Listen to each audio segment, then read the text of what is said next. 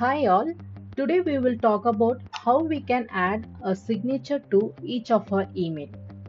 An email signature is text like your contact information or a favorite code that's automatically added to the end of Gmail messages as a footer. To do this, open your Gmail account and go to the settings option, which is at the top right corner of the page. And then click on the See All settings. Under the General tab, scroll down and you will see the Signature option. Click on the Create New option and you can assign a name to your signature.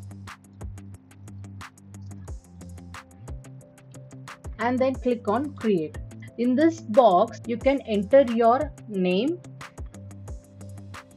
designation, etc. To make the signature available while composing new emails, click on the options which is below the signature defaults option. Select the signature name which is digital skill below the options for new email use and on reply or forward use then click on the save changes option.